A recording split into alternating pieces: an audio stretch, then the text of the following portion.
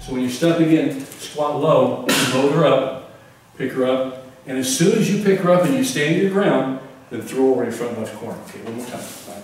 And we'll practice. We'll, we'll practice this. Okay. Pulls up, comes in. There you go. Kataguruma, okay, this is the, the first set of Nage no Kata. This is the third throw in it. It's Kataguruma. Kata is shoulder, Guruma means to wheel. So you, she's wheeling her over her shoulder, okay? We're gonna do the standing version because that's the use, that's the basic idea, way of doing Kataguruma, and that's what's done in the Nage no Kata. So without doing the steps into it, we're just gonna show the Kataguruma. So go ahead and grab each other, ladies.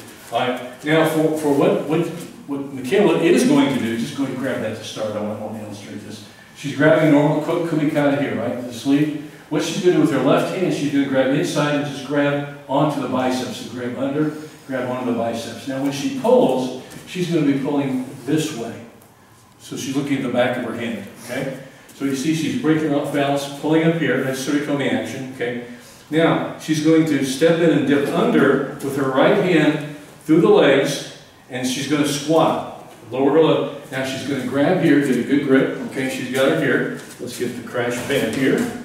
And when she throws her, she's going to throw her over to her front left corner. So just go and throw her front left corner. Like that. Okay? So you don't throw them sideways. You pick them up, but you don't step with them. You stand your ground and you throw them over your left front corner. Let's go ahead and do that full speed. So she's going to grab, left hand in there, she picks, breaks her balance, comes in, picks her up. Okay, good. One thing I say is instead of this, grab. Okay. okay. One more time. So look at how she's grabbing. So she breaks her balance, pulls her up, grabs under, steps. Good.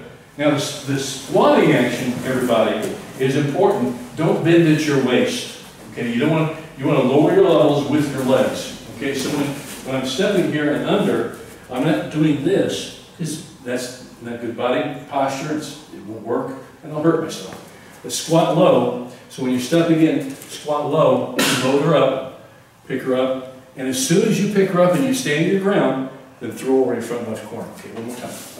And we'll practice. We'll, practice this. Okay, pulls up, comes in.